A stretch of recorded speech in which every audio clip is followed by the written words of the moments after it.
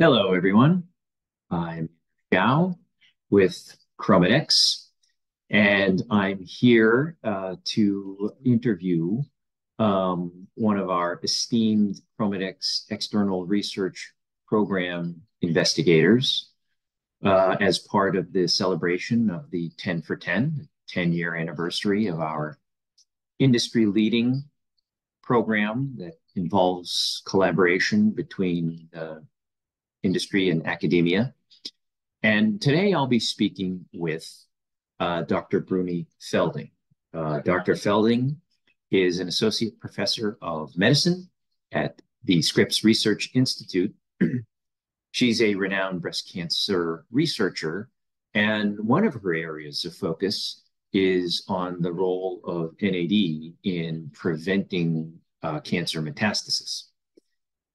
Uh, and so uh, Brunie is also a member of the ChromaDex Scientific Advisory Board. Uh, and so without any further delay, let's get to our interview. Okay. Uh, welcome, uh, Dr. Felding. Uh, thank you so much for joining us on this CERP, what we call 10 for 10, celebrating 10 years of CERP, which is really hard to believe. Um, and so I uh, I just want to ask you a few questions and have a little bit of a dialogue, if you don't mind.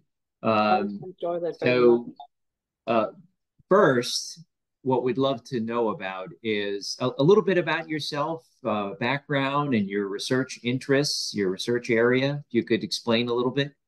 Yeah. So first of all, thank you so much, um, Andrew, and please call me Brunie. Uh, we have known each other for such a long time, and you know sure. I, I treasure this interaction. So um, yes, thank you. Uh, as you know, you know I'm um, a cancer researcher, and that is really my passion and my mission. And I think it's you know my life's goal um, to help cancer patients indirectly because I'm not a, a medical uh, caregiver right. or medical expert, but I do, um, you know, influence the field. I would say, you know, with our research and with our results, and also the digests of the research that is out there in the field, I think is very, very important.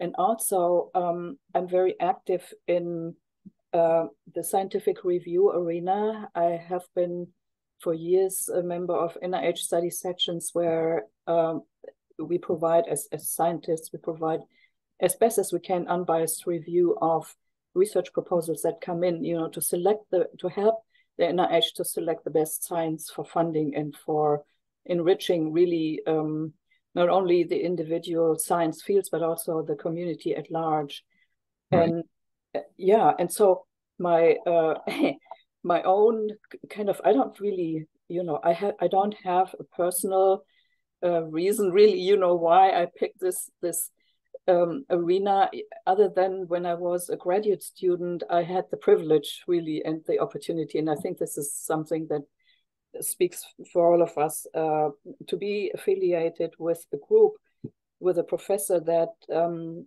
and this group was analyzing oncogenes back in the day that has been quite mm-hmm. a while right? and it was a really new concept and it was sure.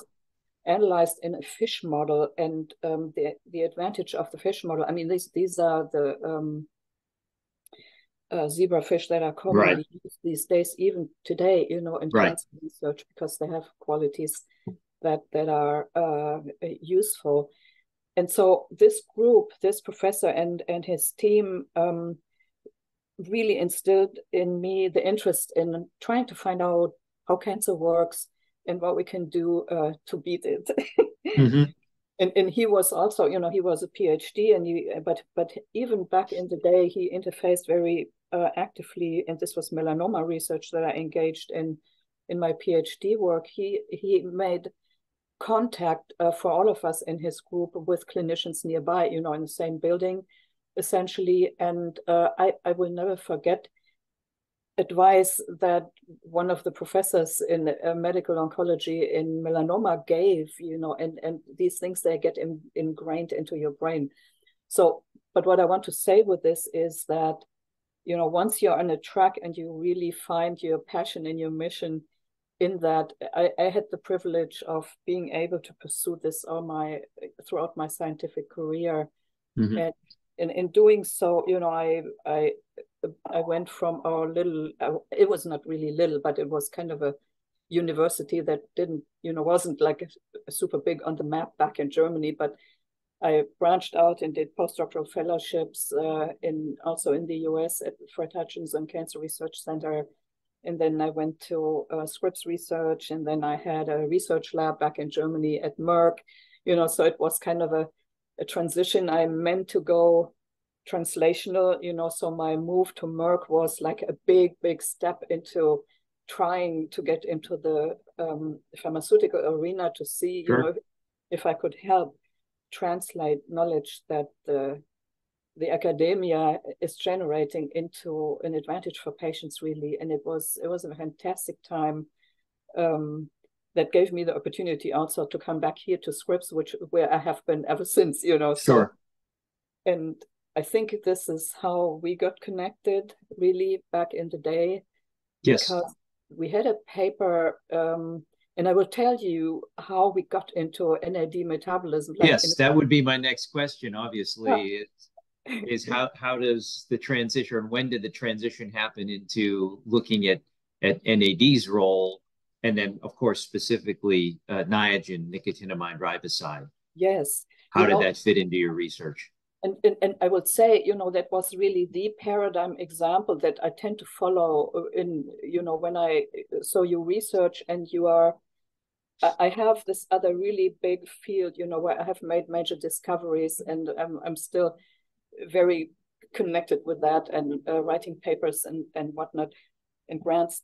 But the NAD came to me, you know, it landed in my lap basically in a sense.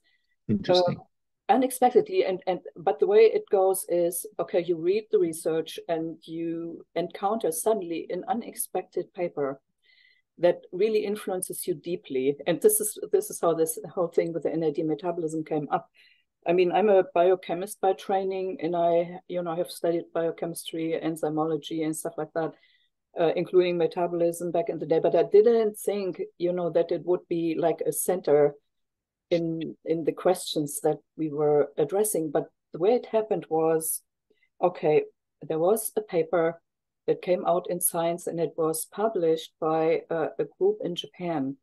And what it said was that um, mitochondria, the powerhouses of the cell, the organelles mm-hmm.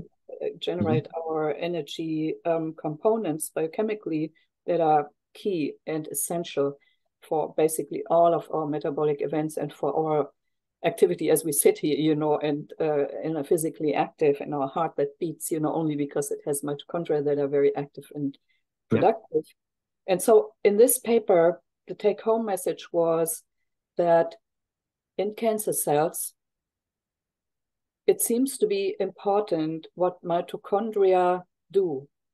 It seems to be even more important than what the nucleus does when it comes to determining how aggressive a cancer cell is. And okay. what this, uh, what this, and it was a Nature paper or science paper, and how it was done was essentially it was a, an approach that is a little, you know, harsh, but the outcome was that they um, the group had swapped um, mitochondria from one cancer cell type to another, leaving the nucleus as is. You know, so in other words, you had a recipient cell that kept its own nucleus, but now was given mitochondria from another cell. And the take home message, the outcome of this, surprisingly, across a spectrum of different cancer cell types, was that each time the cancer cells were given mitochondria stemming from a very aggressive cancer type, the aggressiveness was transferred to the recipient. And that was then consolidated in mouse experiments, you know, and it was like a, a fantastic study. So I thought, you, you, you know, I mean, it was, and this is how I, you know, this is how this captivated me. But really, what drove the, mitoc- the uh, NAD metabolism into this was the following, and this is, you know, how how good fortune I would say, you know, comes into your life. And if you realize it, you know, and follow it, you, you have really the good fortune in your hand to to d- dig deep into. And what it was was um, in our building, also, you know, part of Scripps, there was on the floor above me, um, two good friends had a laboratory, also a Japanese group, Akemi and Takao Yagi, and they were researching mitochondria. And, you know, we had discussions um, early on about all kinds of things, about energy, metabolism, this and that, you know, the heart function, uh, neuro neuronal functions. And I was very pleased, you know, and, and struck by the clarity of the results that they had when they manipulated mitochondria in a way to more, make them more efficient mm-hmm. and more productive in terms of energy production. And so I said to them, I, I sent them this paper that we just discussed, you and I. And I said, please, can you read this? And I want to come and ask you, do you have a key reagent for me that we can use in our group to analyze what the mechanism is that enables the mitochondria coming from an aggressive cell to transfer this aggressiveness to a recipient cell. And they went back and forth a little bit. And then they said, yes, we do have a key reagent for you. And that was the NDI1. You know, the NDI1 is a yeast gene um, that, and it encodes the NADH dehydrogenase. Okay which in yeast is a single gene in in uh, in mitochondria, and in mammals like you and me and uh, everybody in our species, we have um, a complex one, which is you know more than twenty up to forty uh, components to it, which together work to produce the NADH dehydrogenase activity that is the first pass when a molecule gets into the mitochondria to regenerate the energy and finally yep. ATP. So they gave me this yeast gene and they had it in a vector that they used to transduce neuronal cells. And by the by, you know, these neuronal cells, their goal was to um, analyze Parkinson's uh, damaged neurons. And what they could show at the cellular level and at the animal level was that when you restored the NADH dehydrogenase activity in case of Parkinson's disease, the neurons behaved normal. They could basically abolish the disease. It was like a miracle to me, right? And and um, I wish they could have gone on to develop a gene therapy, but you know this is another story. But it goes to show how important mitochondrial function is. And in our case, uh, so we took this uh, yeast gene and um, we transduced, meaning we expressed this yeast gene in tumor cells, in human breast cancer cells. And lo and behold, uh, all of the cells, different cell types that we had analyzed and treated in this way, the cells, the recipient cells of this gene had not only normalized NAD metabolism, and here comes the NAD metabolism in the sense of the word, but they also had lost their aggressiveness.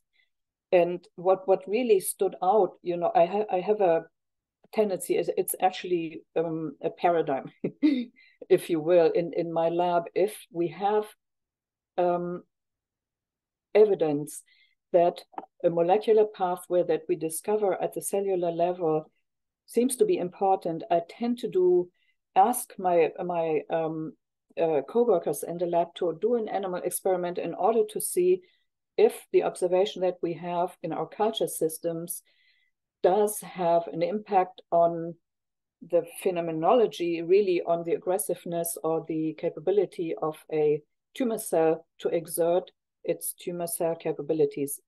And the answer from all of this was that all of the tumor cells that we had transduced with this yeast gene to normalize the NAD metabolism behaved almost like normal cells in the animals.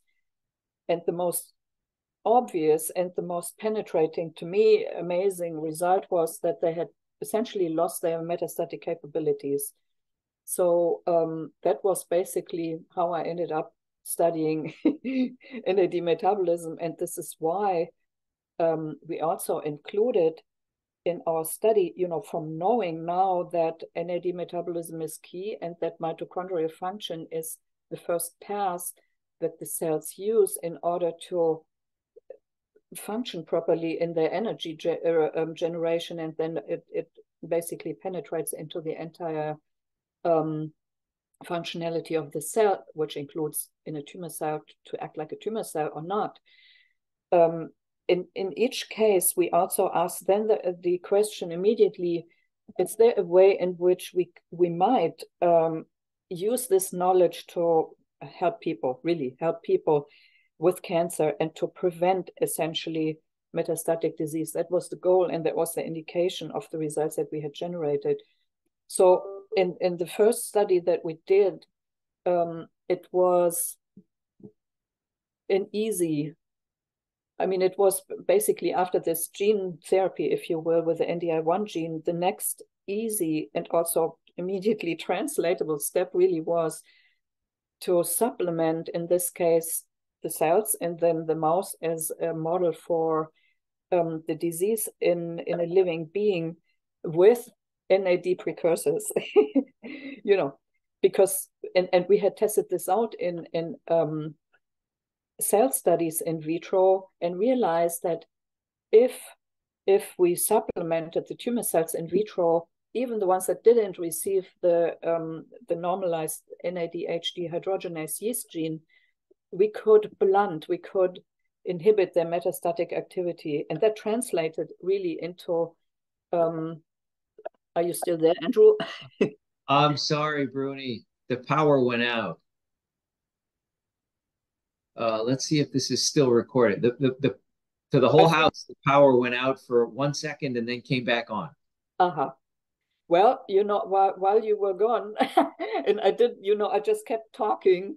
Uh, I'm sorry. Uh, uh, don't worry about it because there may be actually a recording of what you didn't hear, but what I said in the meantime, which was quite a bit.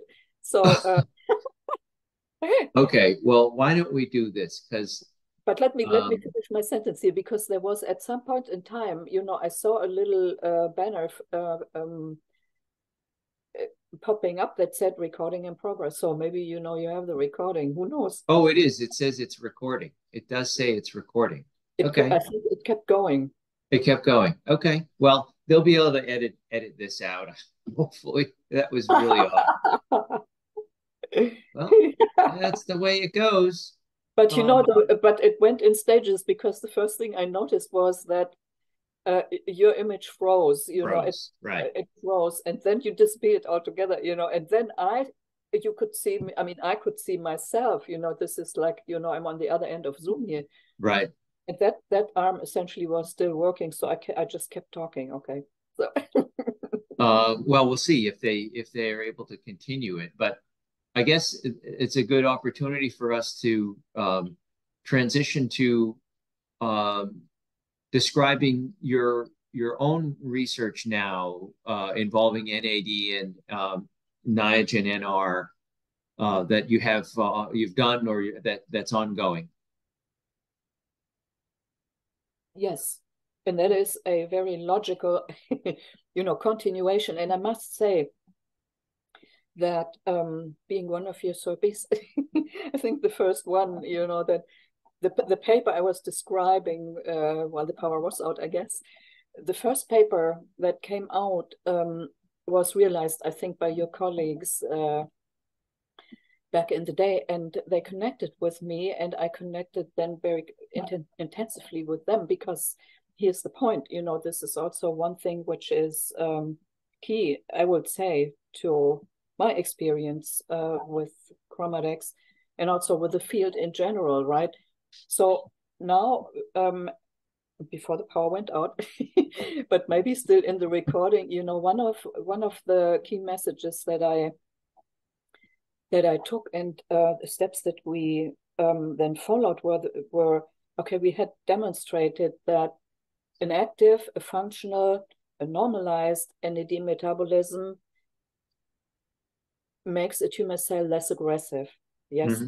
that right. was that was the the take home message, which you could see at different levels, at different with different readouts, molecularly, genomically, uh, metabolically, in vitro, in in the culture system. But you could also, and that was the best and most important finding, you could also see this very clearly when you put um, the when you transferred the tumor cells when you implanted them into uh, recipient mice and the recipient mice no longer had metastases. You know, that essentially meant that um, with this normalization, you had basically blunted pretty much in our systems in various cell models extinguished the ability of the tumor cell to colonize the the organism as a whole meaning you know they were really uh, not behaving like metastatic tumor cells anymore which was like to me you know the breakthrough per se and i you know that was my life's dream mm-hmm. to get metastatic activity out of a tumor cell because that's you know as we all know um the major cause of death in cancer patients. Right. Um, so then, you know, of course, the question became, oh, you know, one thing could be we could do a gene therapy with the NDI1 gene from yeast, but much easier would be, you know, if we could supplement NAD sure. metabolism to actually achieve possibly the same result. That was the big right. question, right? Right. And at that point in time, I mean, we we connected very intensively uh, because no one else has, as we know, and as we had, you know, at, at Scripps, we have, uh, um, I would say, superpower mass spectrometry and metabolomics capabilities. And I couldn't find a better product, you know, of, of this key metabolite NAD, uh, uh, uh, NR nicotinamide riboside and nicotinamide uh, at, at a greater purity, you know, and reliability than from Chromadex. So we were uh, privileged to collaborate, and I I was super happy, you know, to be also chosen to be the first uh, CERP investigator and to carry out this study, which I would have otherwise not been able to push, you know, as as sure. far as we did go. And the approach is or was and still is, you know, this is we come to the presence here in a second, uh, that you could um, either or both in our animal models or these pre preclinical studies, we you could expose the tumor cells in culture to the NAD precursor, meaning nicotinamide or nicotinamide riboside. And I have to say that in all of the metabolic and molecular approaches that we took, we compared these metabolites side by side, and they were very effective, but nicotinamide riboside is always more effective in whatever readout we took.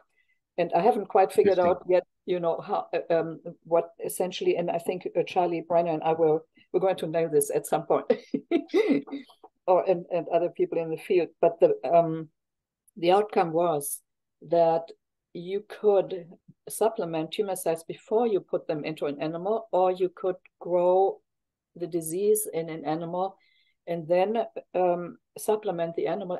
Actually, you know, your experimental patient was now given a supplement, a dietary supplement in the form mm-hmm. of uh, nicotinamide or nicotinamide riboside. And lo and behold, in all of the approaches that we took, in all of the different mainly cancer cell type, I mean breast cancer cell lines and cell models, uh, did we find that in metastatic activity was greatly blunted, was almost undetectable.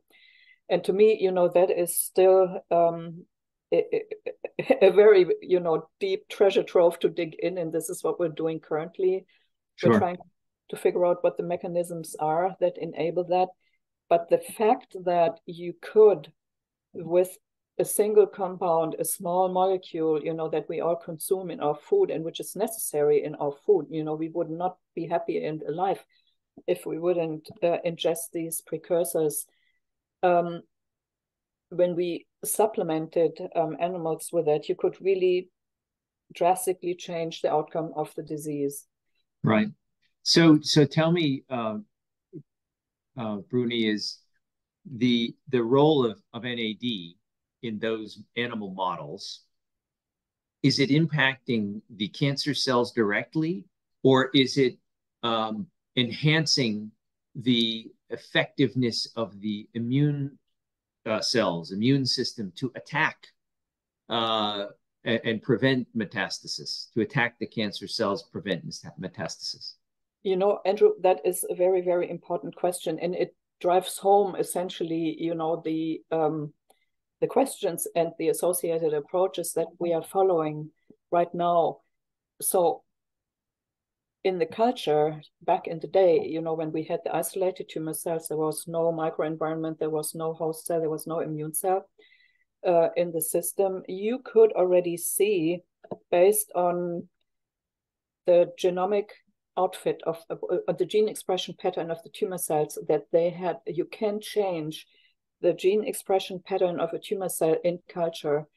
Um, and what we saw is that there is a um, an inhibition of the epithelial to mesenchymal transition, which is a key pathway. It's one of the hall, hallmarks of cancer, really. Um, it means that uh, an epithelial cell, one that normally sits in a tissue and behaves, you know, as part of a normal tissue, um, the epithelial to mesenchymal transition means that the epithelial cells that normally sit in this tissue now behave like a fibroblast in a wound healing situation, meaning that these cells now become motile, they become invasive, and they leave the site.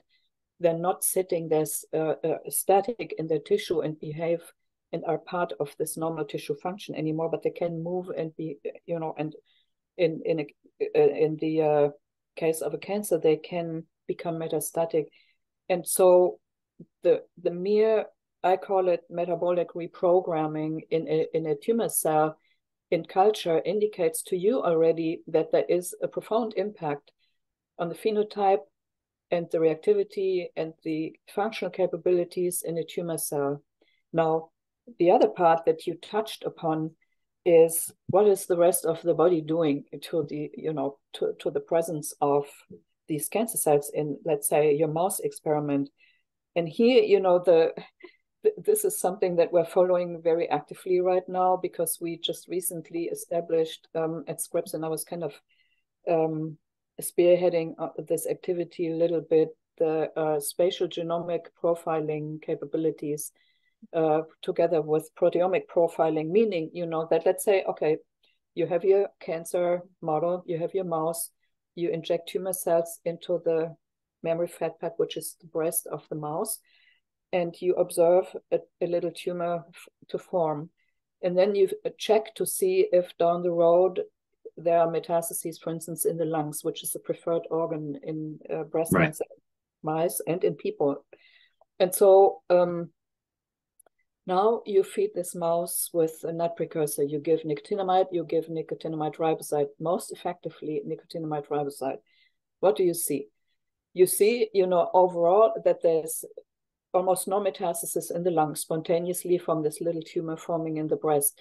Then, of course, you know, now we read the literature and you had, you know, we had discussed in the past one very uh, impactful one that we both liked a lot. And I have seen more, and you have seen more, and we hear it at conferences from our colleagues, you know, that, oh, um, the immune reactivity to, let's say, an, to a, a, a, pathogen invasion, let's say there is a bacterial infection, there's a viral infection. Yep. You know, from our standpoint, it's a an invader uh, from, you know, within, it's basically a tumor cell that causes a reaction um, in a person's body to to essentially um, destroy this tumor, recognize the tumor right. as foreign, and to destroy it.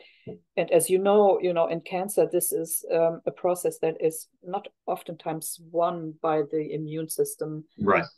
It can initially be very effective, but eventually the tumor cells can reprogram the immune response and actually make it more favorable for tumor growth rather mm-hmm. than allowing it to kill, you know, the tumor cell right. and, and, stop the disease. Right. So here, here's the point that you're bringing up. Right. But what we're looking at right now, you know, is so what is the immune microenvironment in the tumor? Let's say in the mouse's primary tumor in the in the breast tissue, and what is it like in the lung when you let's say you let the disease develop? Okay, the patient comes to the clinic and is diagnosed. There's already a primary tumor now, of course, uh, steps have to be taken to prevent the disease from advancing. So in the clinic, if possible, this is uh, um, surgery is the first line of action if that's uh, an option. Um, sometimes these days, and back in the day, uh, you know, repeated um, what we have done or what what um, oncology has done in the past. Um, neoadjuvant chemotherapy is given to shrink a tumor uh, and then a surgery is done to hopefully eradicate the disease by taking out the whole thing. Right. In my view, you know, it's it's a little double-edged sword, and I've discussed this, you know, with friends at MD Anderson and other people because, you know, now, as we know, you know, you and I, we sit here and we think, oh, uh, chemotherapy. Okay, chemotherapy oftentimes is not very friendly to the immune system, right? Yep. So you know, so you fight fire with fire, and and you know, so it's a hard thing to do, but right.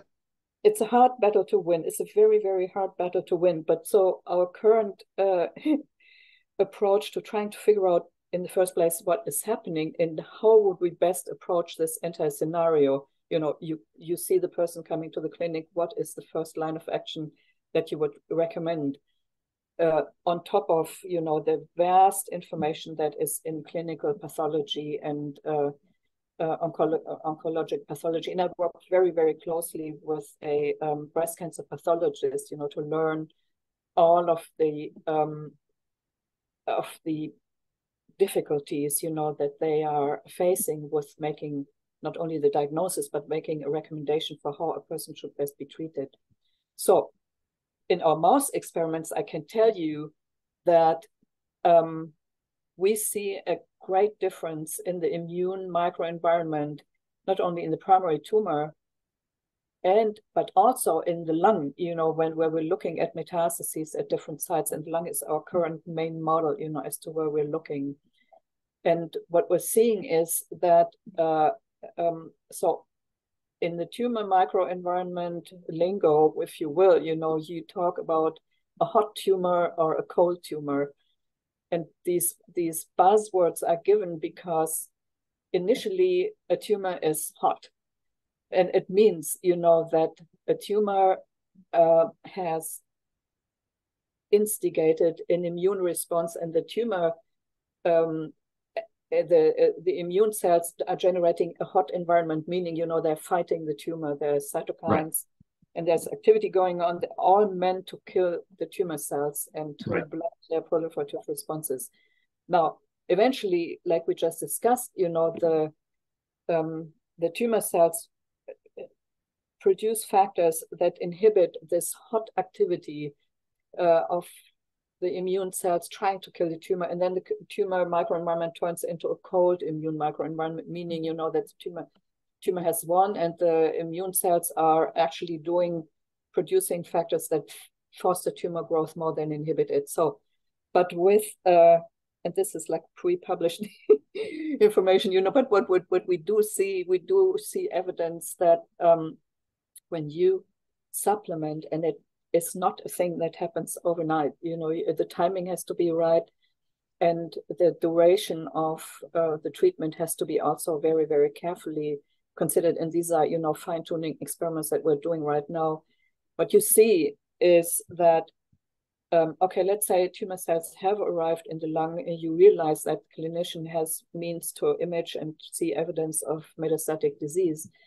And at that point in time you know and we model this in the mouse because we can say okay we'll give the mouse nicotinamide riboside for instance from the beginning of the disease. We can tune it. We know what's going on in the clinic you don't have that luxury right. you know the right. person comes to the to the clinic whenever symptoms arise whenever the right. is so so you have to deal with the status at the moment and in the moment and so therefore we're modeling you know the time sequence of event and is there a way in which you can help the immune system? And the answer is yes, you can help the immune system, and you can help particularly, you know, cytotoxic uh, immune cells that have the capability of killing tumor cells um, to remain, I would say, remain, you know, have this hot uh, tumor microenvironment phenotype to continue to fight the tumor.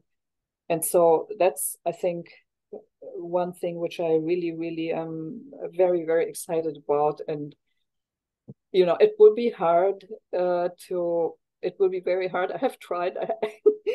you have heard me talk about this before. You know, I have talked to clinicians and said, even in the in the beginning, you know, very beginning after our first paper, I talked to clinicians and I had some super important responses from clinicians because I suggested, why don't we just try?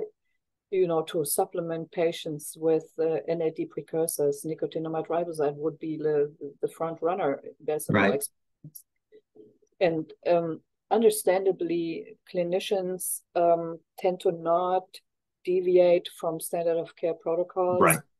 And it wasn't sure, you know, we didn't have enough evidence. We didn't have the whole gamut of, you know, all of the different control arms. How do you and when do you supplement? How does this affect the standard of care therapy?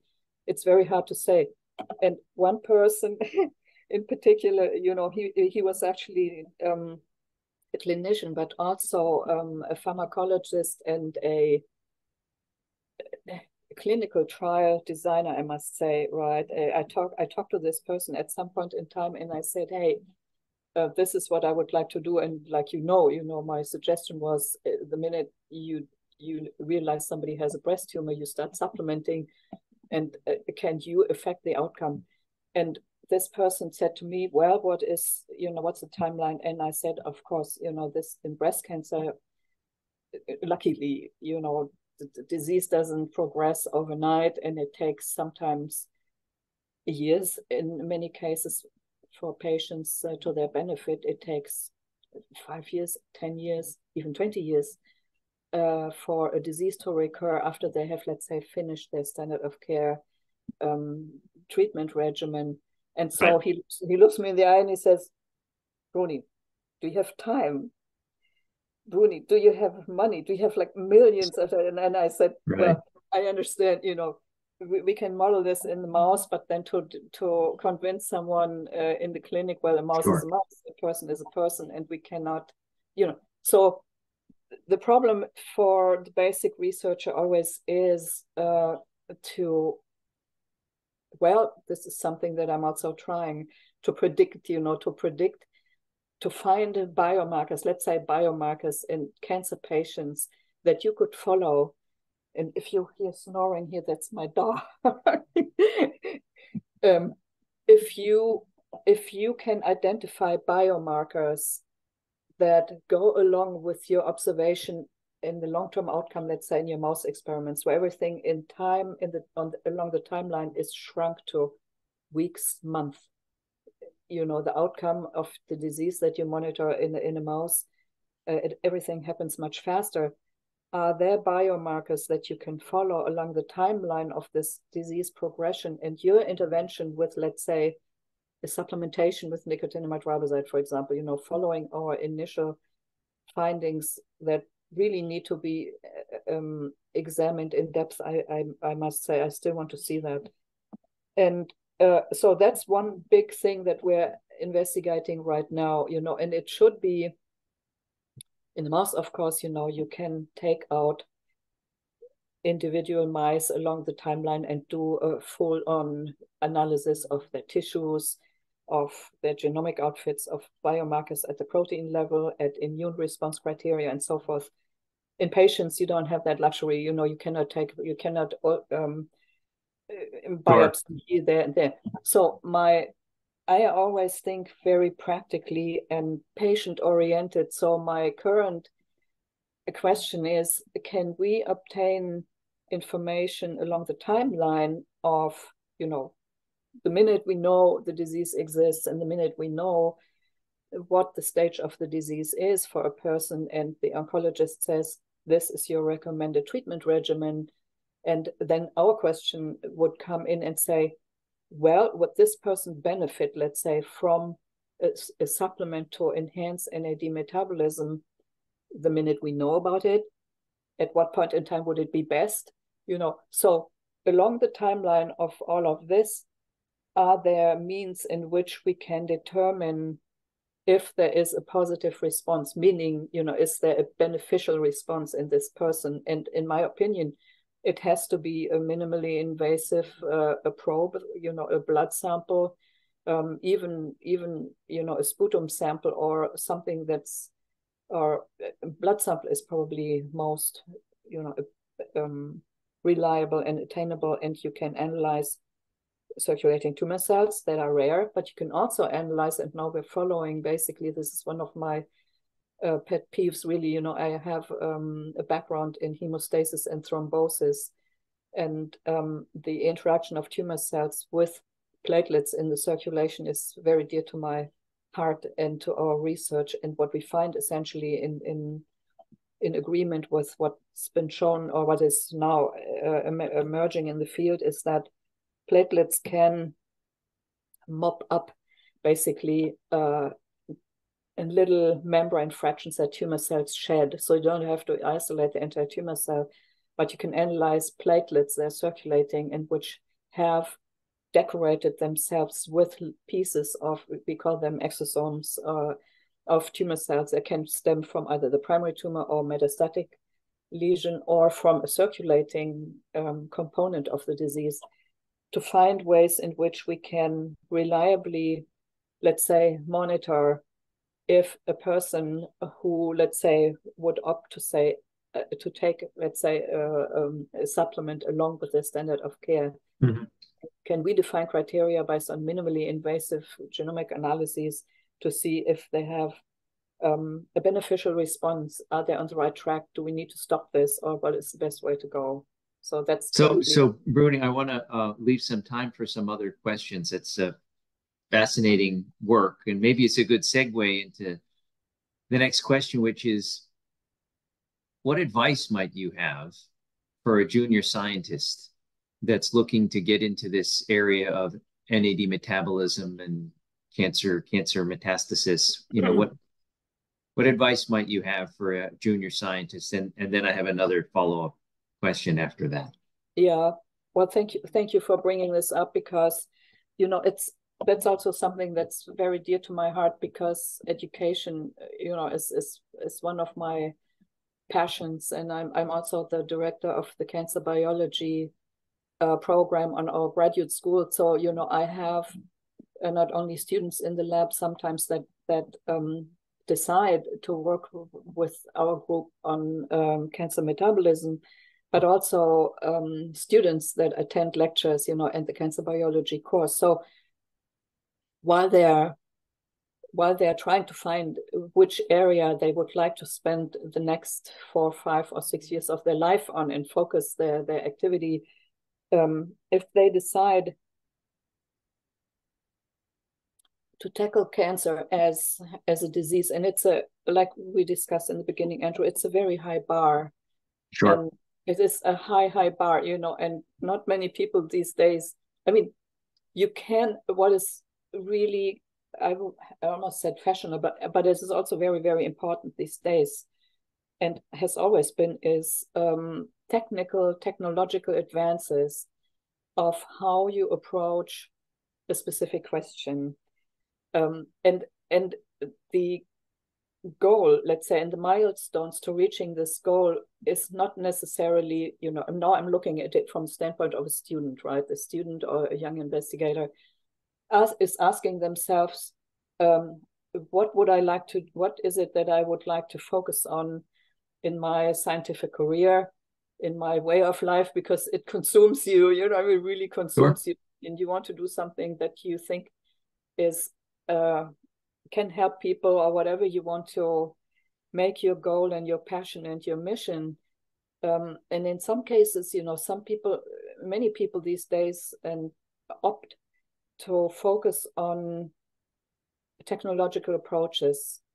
Um, and the concept can then let's say somebody else can do this using their technological approaches.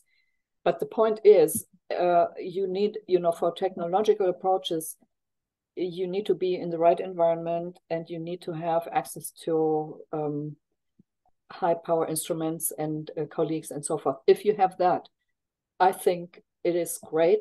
Um, and I would advise a person who would want to, you know, let's say is interested in doing something that would benefit cancer patients, but also other people you know who don't have cancer and uh, is still interested in let's say metabolism i would say metabolomic and uh, and the and the uh, the com conversion I uh, the of uh, metabolomic analyses proteomic analyses and genomic analyses. So in other words multiomics is really something that we need to understand better and influence each other. I mean not that one person can do everything, but there are ways in which we can leverage platforms which are currently being developed um, at the instrument level, you know, to ever more refine uh, the uh, sensitivity of mass spectrometry analyses, of proteomic analyses, but also bioinformatically, you know, then to be able to crunch these huge data sets and enable the, let's say, the end user. Let's say I were the end user because I'm sitting here, I'm trying to ask the end question Does somebody who has cancer uh, and take wants to take a food supplement that helps them how can we analyze their body composition based on a minimally invasive probe um, in a way in which the person would learn whether or not what they're doing is helping them right? I mean are the clinician to say is the the, the modified um, strategic therapeutic uh, advance here. Is it is it helpful or is it not helpful? And i think I I think that is a great arena these days where people are needed um, to find ways in which fields can be brought together, big data sets can be crunched together to make meaning, you know, to to to present meaning to the field as a whole. And then as a group, I mean, we are a group of scientists and publications are public and data sets are public and the NIH is really great. And then we have GitHub and other public uh, forums in which data sets are being exchanged, where you have access to previously unprecedented depth of huge data sets, you know, that no one by themselves and alone can generate, analyze, and correlate. Uh, so I think this merging of information is a great opportunity that needs to be further um, developed. And I think we're making great, great. strides in this That's direction. great. Yeah. Can you um, uh, briefly, because we're running out of time, uh, uh, Brunie, but um, how has being part of the ChromaDex external research program or being a SERPI, how has that helped you and, and your research? Well, I can say a couple of things. One is that I could not have done, you know, what, what we did. Uh, essentially, you know, the initial things we we, we did, but the, the way it would, the way in which um, research works is always okay. You have a finding, then you try to get money to expand this finding or to get, go deeper. And if I hadn't uh, connected with uh, ChromaDex, and if ChromaDex hadn't decided to support my lab really in our research, we could not have done this. Absolutely a clear, you know, um, there's a clear answer to that. And I, I must say, I'm super, super grateful for that because um, when you apply for grants, you, you, you try to tap into different resources if you can you know because you most of the time you get rejected mm-hmm. you know and especially if you come in with a new um, concept or a new a viewpoint that isn't very streamlined at this moment in time you know when you bring forward your your approach or your concept. And it is very very hard sometimes.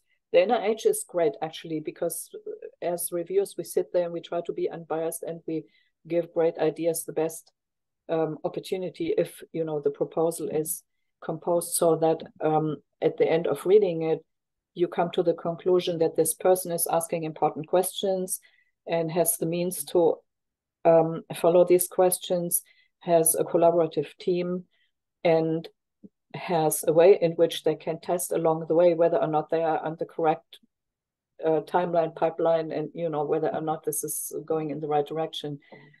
Um, but sometimes you um, you cannot go forward because key experiments may be expensive and that was the case in our experiments as well uh, we did mitochondrial sequencing of cancer cells and without um, the support of ChromaDex we could not have done uh, absolutely not have done. And also, we received funds for an instrument that was key, you know, to analyzing uh, tumor progression in the mice. So I'm very, very grateful for that opportunity.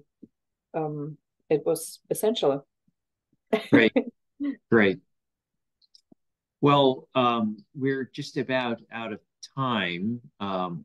So it's been uh, really a pleasure um, interacting with you and ha having this discussion with you here um, for our uh, CERP 10 for 10 series. Always, uh, uh, I find always our discussions to be very informative and very fascinating. Oh, so I want to thank you again for uh, being part of the ChromaDex External Research Program and for your time today.